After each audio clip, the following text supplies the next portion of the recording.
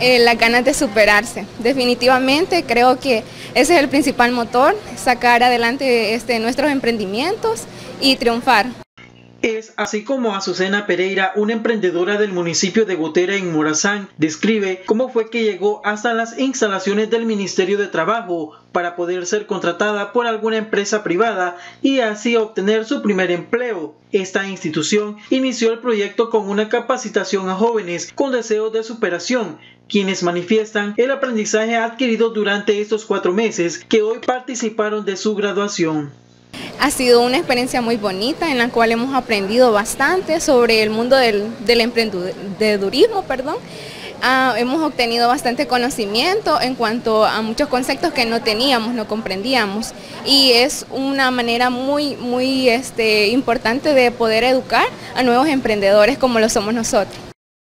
Rufino Canales, quien funge como técnico de emprendimiento de esta institución, mencionó cómo surge este proyecto y que no existe distinción de edades y género para poder ser partícipe de estas jornadas de capacitación.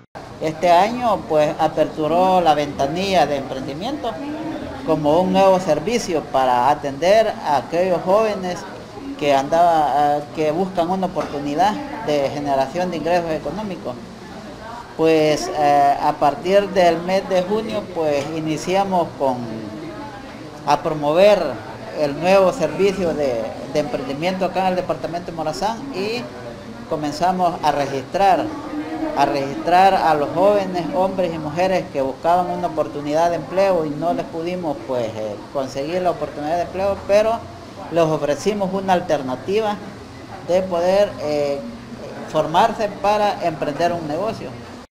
Canales mencionó algunos de los rubros en los que más de 20 jóvenes de este departamento se capacitaron.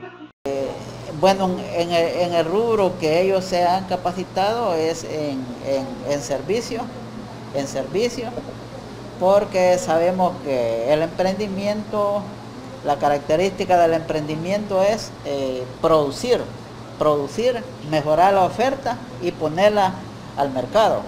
Eh, en, ese, en esos temas pues dimos características personales del, emprendedor, competencias personales eh, empresariales y también les estuvimos enseñando cómo hacer el modelo de negocio ya de acuerdo a la realidad de nuestro departamento de Morazán.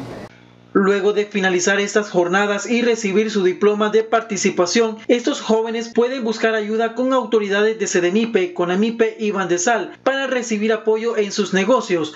Es importante mencionar que de los 20 participantes, 10 de ellos están vinculados a Plan Internacional, donde el día de mañana defenderán su modelo de negocio. Con imágenes de Johnny García, edición Dore Argueta, Enrique Hernández, Noticiero Telemás.